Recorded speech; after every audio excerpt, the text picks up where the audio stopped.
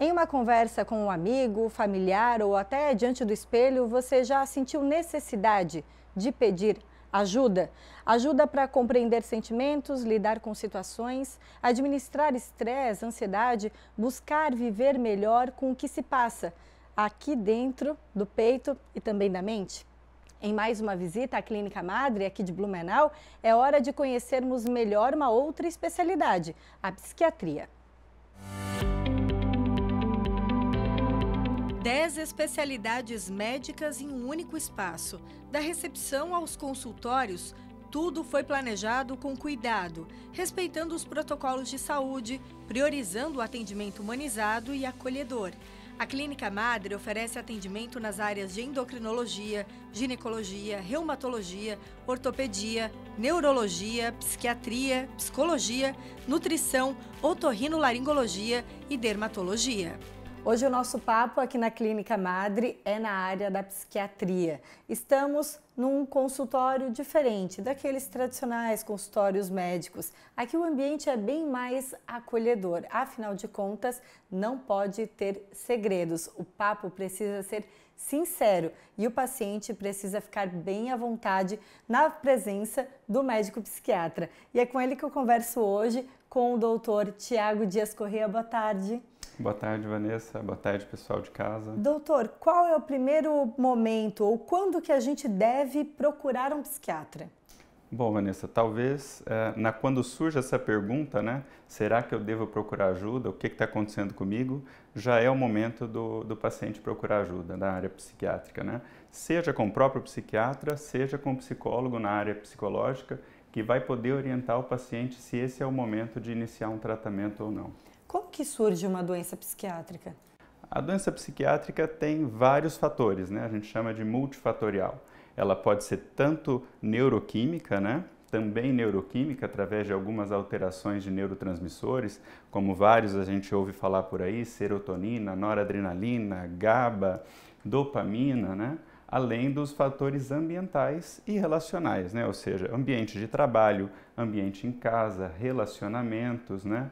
Como a maneira, a maneira como a pessoa se alimenta, a maneira como a pessoa faz atividade física, se faz, não faz, tudo isso vai levar ao surgimento de alguma comorbidade psiquiátrica. Sintomas rotineiros numa vida tão estressada, a gente tem escutado falar estresse, ansiedade, depressão.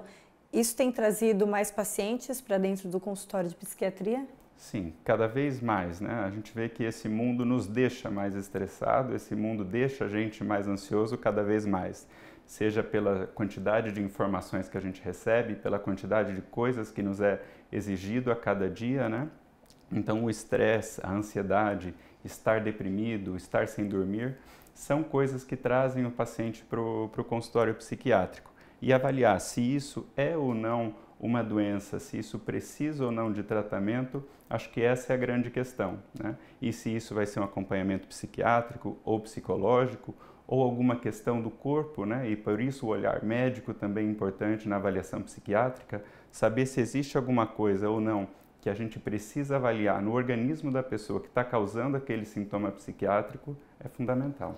A consulta tem como base a conversa, a anamnese. Precisa ser sincera, precisa estar num ambiente como esse, de muita liberdade para poder falar, se expressar.